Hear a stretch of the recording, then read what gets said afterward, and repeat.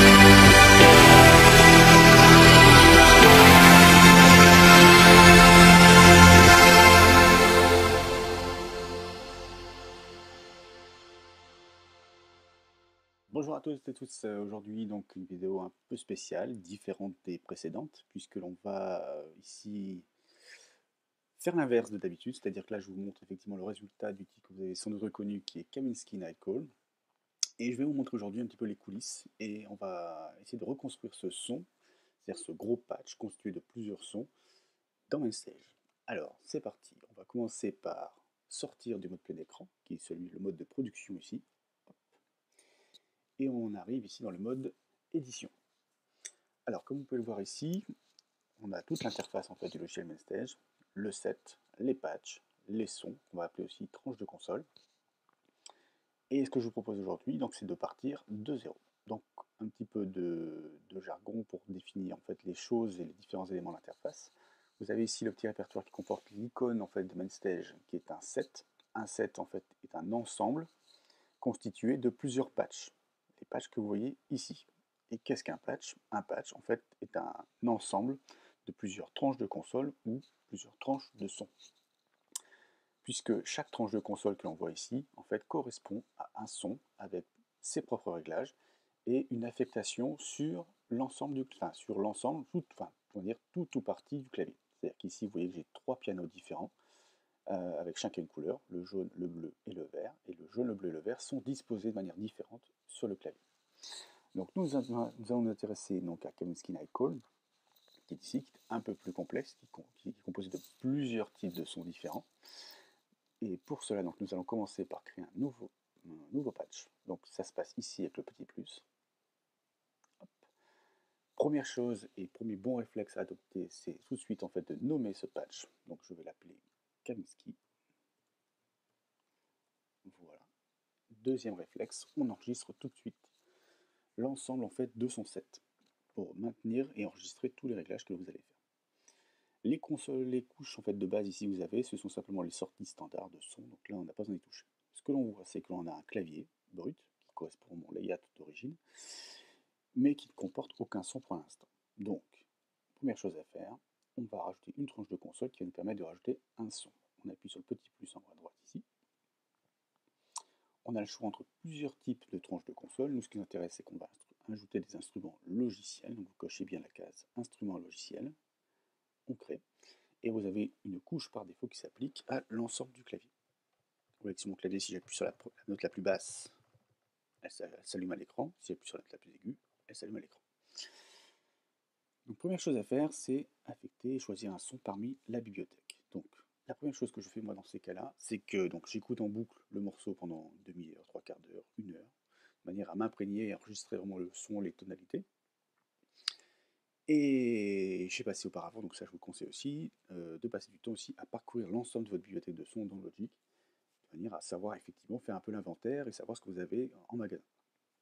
Donc ici, moi je pars toujours en fait pour les sons graves pour accompagner d'une guitare. Donc ça paraît un peu bizarre comme ça, mais vous allez voir que c'est un son qui est toujours puissant, qui peut permettre de faire n'importe une petite grésillance aussi comme ça. Fort fort sympa.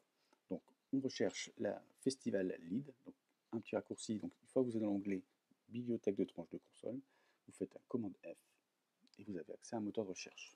Donc je tape Festival Lead L-E-A-D, je recherche, hop, il m'identifie le son ici, je double, je clique dessus, et il me charge le son. Donc vous voyez à l'écran, Festival Lead qui est arrivé ici, il m'a bien retrouvé l'icône en fait qui est associée avec une guitare, et qui comporte déjà en fait quelques effets de base. Enfin de base, c'est assez brut quand même, hein. écoutez. Euh.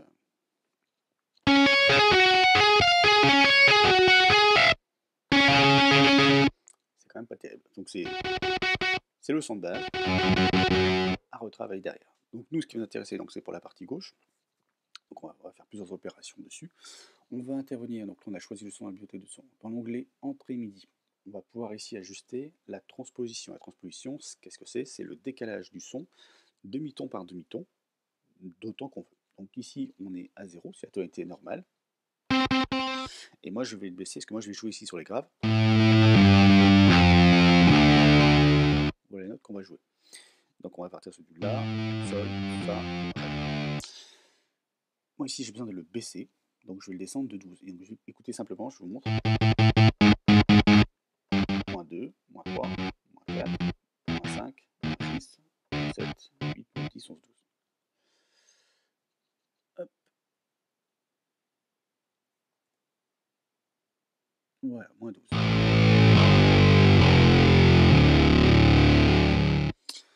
Ensuite, on va, euh, moi pour le morceau, j'ai pas besoin d'avoir des guitares ici à droite. Donc on va découper le clavier, c'est-à-dire pas découper, c'est qu'on va lui, on va indiquer à ce son, cette tranche de console, sur quelle position on va le placer. Donc ça se passe ici, je sélectionne en fait mes guitares, je vais dans Entrée MIDI, c'était pour la transposition, je vais dans Éditeur de couches, là vous avez un clavier qui vous est représenté, et vous avez la note la plus basse et la note la plus élevée.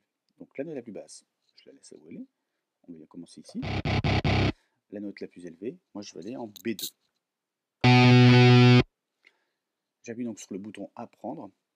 Il se met donc le, logiciel se met en attente et il attend que vous frappiez une touche. Donc à chaque fois que je tape une touche, ça, il va, tant que le bouton rouge euh, Apprendre est allumé, ben, il va attendre en fait un ordre pour positionner le son. Donc moi c'est B2. Une fois que je suis, j'ai frappé la touche B2, j'enlève le bouton Apprendre le mode est désactivé. Donc maintenant, j'ai donc un son Festival Lead, de l'un de la plus basse jusqu'à B2. Et au-dessus, ben, il n'y a rien. Exactement ce qui est présenté à l'écran.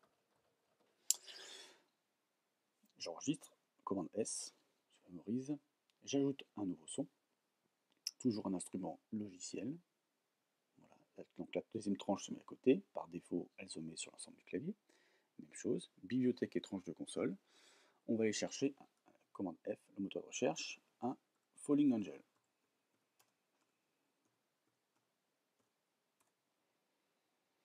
Voilà, je charge le Falling Angel.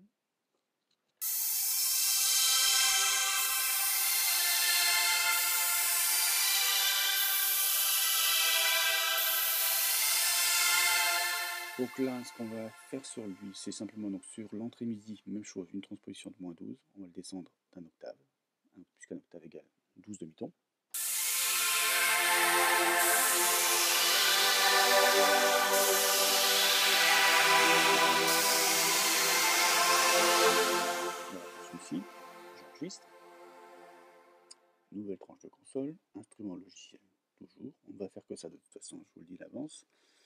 Ensuite ici, donc on va toujours dans la bibliothèque de son. Je vais chercher, avec le moteur de recherche, un Aaron's Journée.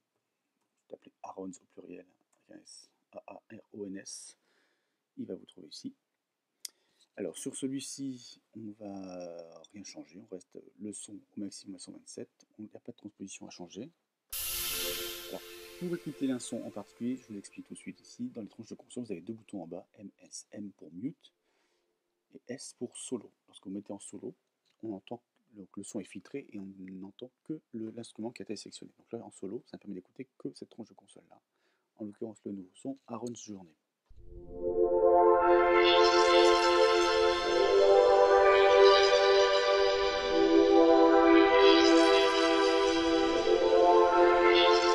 Donc là, vous entendez, c'est un son particulier, son enveloppe est très travaillée, ce qui fait qu'elle démarre très lent, le son démarre très lentement, un peu avec un effet retard, et arrive au bout avec des, petites euh, brillances à la fin.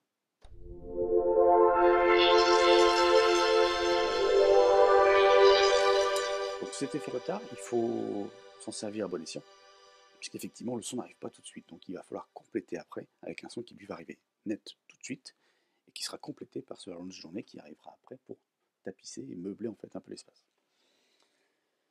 Je n'ai rien à faire sur le de journée, j'enregistre. Ensuite, je rajoute une nouvelle tranche de console, toujours un instrument logiciel. On va partir ici sur euh, l'Euphoria Strings. Donc, pareil, je sélectionne l'onglet bibliothèque. Je tape dedans Euphoria, E-U-P-H-O-R-I-A. Voilà, Euphoria Strings. Sur celui-ci, euh, pareil, on ne change pas la transposition. Il va bien s'appliquer à l'ensemble du clavier. Le son à 127 et je vais le booster ici avec un petit boost à 3.2 en plus. Donc ça, c'est un peu le son master en fait de, de la tranche de console. 3.2, j'ai dit. Hop. À peu près, on n'est pas à truc près. D'ailleurs, j'ai mis à 3.4. Exprès pour m'embêter. Voilà, 3.2. J'enlève le petit solo qu'on avait mis tout à l'heure. Je vous le mets ici maintenant sur le nouveau son pour écouter ce son.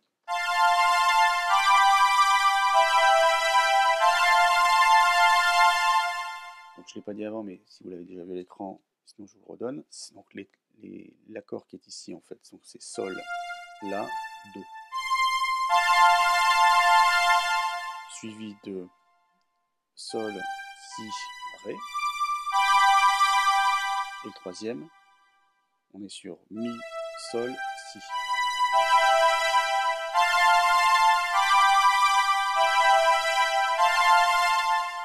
Voilà pour lui. Donc lui il est tout simple, mais une fois que j'enlève le mode solo, j'entends l'ensemble de mes sons.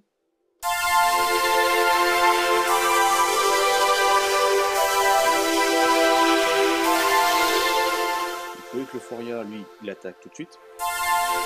C'est la première chose que vous entendez. Et après, il y a les deux autres, le, le Falling Angel et la Rose Journée, en fait, qui prennent le relais derrière.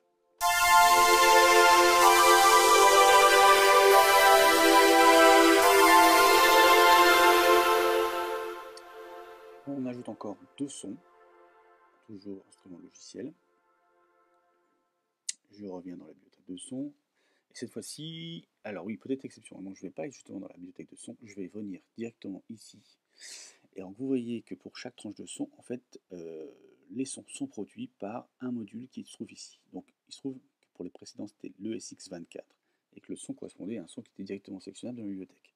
Or, ici, le son que je vais utiliser, en fait, n'est pas euh, visible ici. Donc je vais le chercher directement dans le module ESX24. Comment on fait? On fait un clic droit en fait sur, ce, sur cette case ici. Je vais chercher le ESX24 en mode stéréo. Voici le module ESX24 qui permet en fait de générer des ondes et de créer des sons.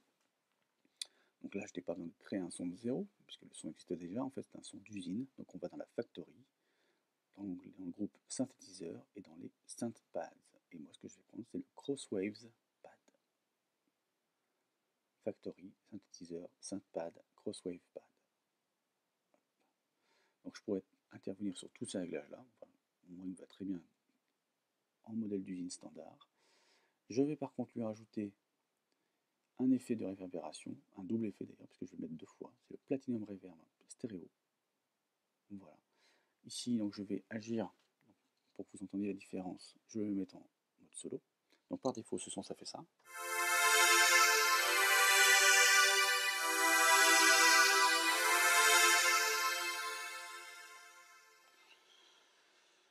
Ici, donc, je vais euh, room size, en fait, qui intéresse sur la, la spatialité en fait, de la pièce.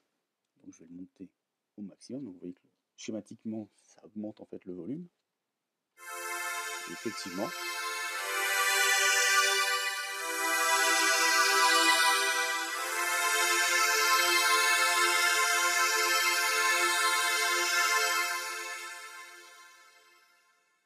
ça intervient dessus. Ensuite, donc j'en mets un deuxième. Donc ça se réverbérise un maximum.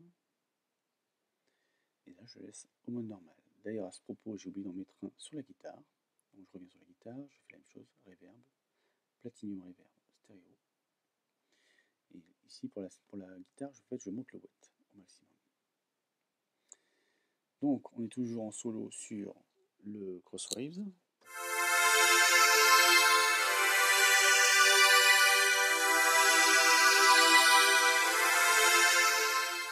J'enlève le mode solo pour écouter ce que, nous donne l'ensemble.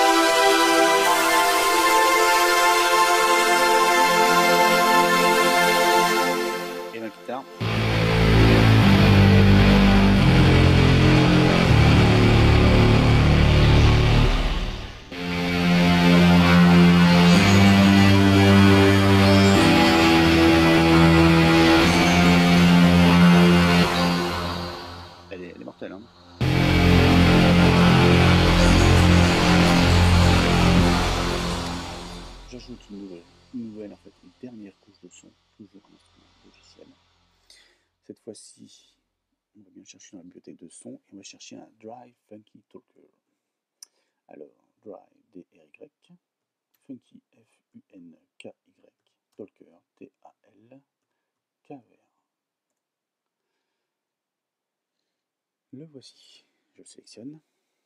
Donc il me l'a mis sur l'ensemble, mais ce n'est pas ce que je veux ici. Donc je vais tout de suite dans l'onglet Entrée MIDI euh, ici, c'est pour la transposition, donc je le laisse à 0. Dans l'éditeur de couches, en fait, je vais changer. Alors cette fois-ci, je vais changer en fait la note de départ, parce que je veux bien, je veux, qu'il aille jusqu'au bout, mais je veux pas qu'il aille, euh, qu'il commence en bas. Donc je change le bouton apprendre de la note basse. Je clique sur le mode apprendre, il se met en rouge, et je sélectionne en fait ici mon C3. Vous voyez, à l'écran ça tombe bien, on voit bien la séparation avec la guitare qui démarre ici.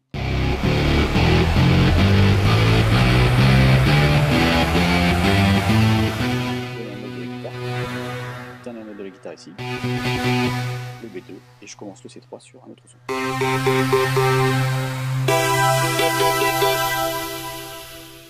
Donc, on revient à l'édition de notre son. Euh, sur le 624 ici, je vais le booster aussi un petit peu, on va monter le son. Sur le dernier, donc le Drive Funky Talker, on va le monter également. 5.2 à peu près. Hein, c'est vous qui voyez pour ajuster après l'oreille. quoi. Euh, au niveau du range, on est bon. La transpose, on est à 0 aussi. Rien n'a changé. L'avantage, donc ce son, je vous fais écouter en solo.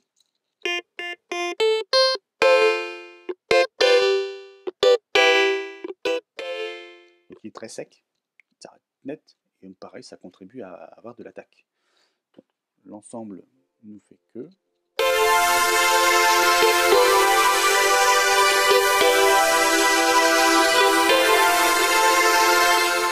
là, on est pas mal. Pour finaliser tout ça, donc n'oubliez pas, on enregistre à nouveau, hein, commande S, pour bien conserver tout ça.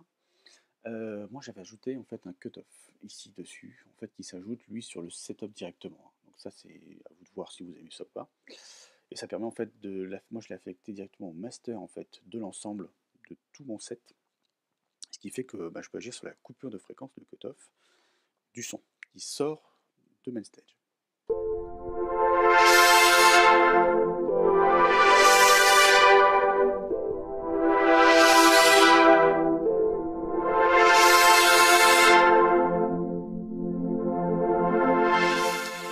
Ça peut être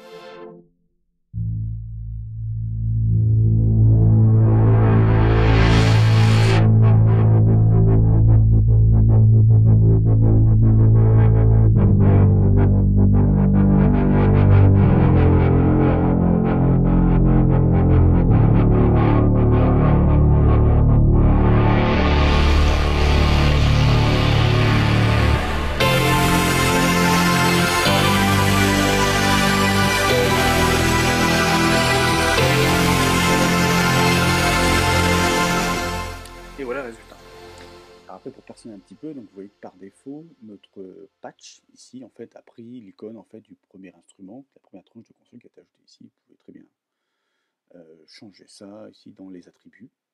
Donc vous cliquez sur le patch, vous avez des petits onglets attributs, ici vous avez des petites icônes et vous mettez ce que vous souhaitez. Il y a plein de petites icônes, c'est plutôt synthétique. Je vais plutôt lui mettre un petit synthétiseur vintage et je vais enregistrer. l'étape suivante, une fois que maintenant vous avez ça, donc vous allez pouvoir directement jouer dans le mode plein écran avec ce nouveau patch que l'on a créé.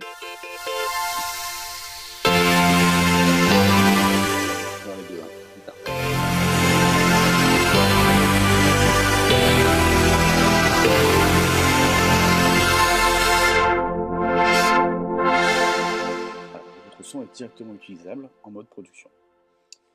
Euh, juste un petit conseil et astuce en fait, parce qu'il y a, là on est enregistré effectivement dans, le, dans, le, dans un patch et donc dans un setup, pour aller encore plus loin et pour être sûr de sauvegarder définitivement en fait tout l'ensemble de ce son, vous cliquez sur la petite roue dentée ici, engrenage, et vous faites un enregistrer comme un patch.